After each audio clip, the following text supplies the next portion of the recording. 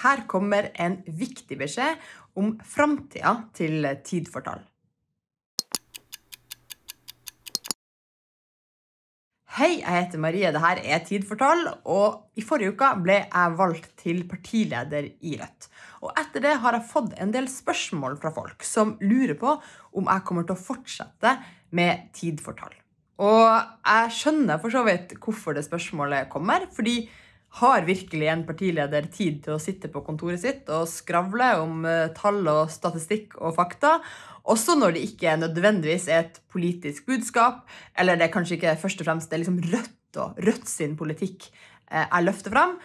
Og mitt svar er et rungende ja. Fordi Tid for tall har vært et hjertebarn for meg i snart seks år. Og grunnen til at jeg starta med det, er jo fordi økonomi og tall har enormt mye makt i samfunnsdebatten.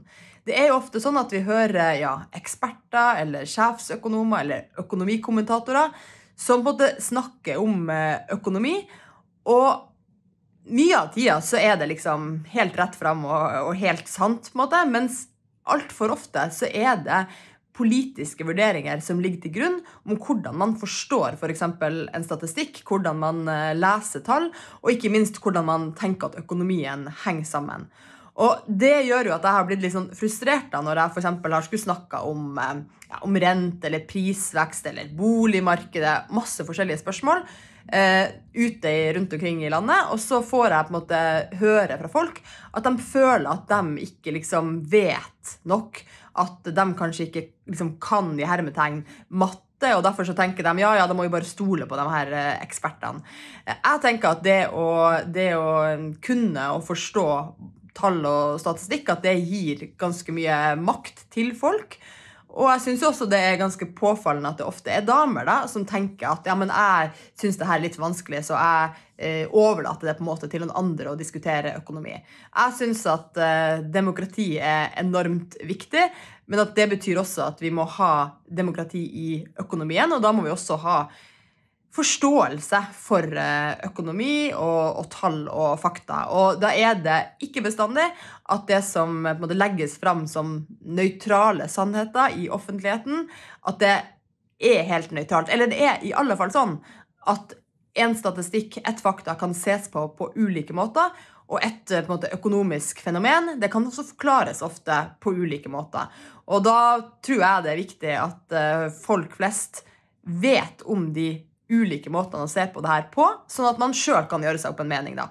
Fordi det er jo veldig ofte sånn at uh, folk er utrolig smarte, egentlig. At man syns det er helt sjukt at boligprisene er så vanvittig høye. At uh, det er, vanskelig for folk som etablerer seg, å, å kjøpe bolig. Hvorfor skal det være sånn? Uh, at man syns det er ulogisk at renta skal øke så mye, og man får høre at vi har en overoppheta økonomi, samtidig som vi har flere fattige enn vi noen gang har hatt. Hvorfor skal det være sånn? At man får høre veldig veldig mye om på det gjennomsnittet av ja, folk i Norge, og gjennomsnittlig økt levealder f.eks., eller vi har i gjennomsnitt spart masse under pandemien. Det var noe som ble snakka om veldig mye da. Men da tror jeg veldig folk skjønner intuitivt at gjennomsnitt eh, ikke egentlig er så veldig relevant, fordi ja, noen sparte mye under, nei, under pandemien, mens andre eh, mista jobb og inntekt. Så det ligger så mange lag med sånne ting, og det er det jeg prøver å få fram i Tid for tall. Betyr ikke bestandig at jeg har helt rett, men det betyr at det er viktige perspektiver som man bør forstå, og som man bør kunne diskutere. Og Derfor lover jeg å fortsette med Tid for tall. Og, og, ha en forhåpentligvis god balanse av det som er litt sånn eh, Rødt sine saker, men også det jeg bare tror folk er interessert i og lurer på. Tusen, tusen takk for at du ser på. Når jeg er rundt i landet, så får jeg ofte direkte tilbakemeldinger fra folk som har sett på Tid for tall. Det syns jeg er veldig veldig hyggelig. Det er også lov til å sende meldinger eller kommentere under hvis det er tema man har lyst til at jeg skal ta opp. Så um, over ut for denne gang. Ses neste uke.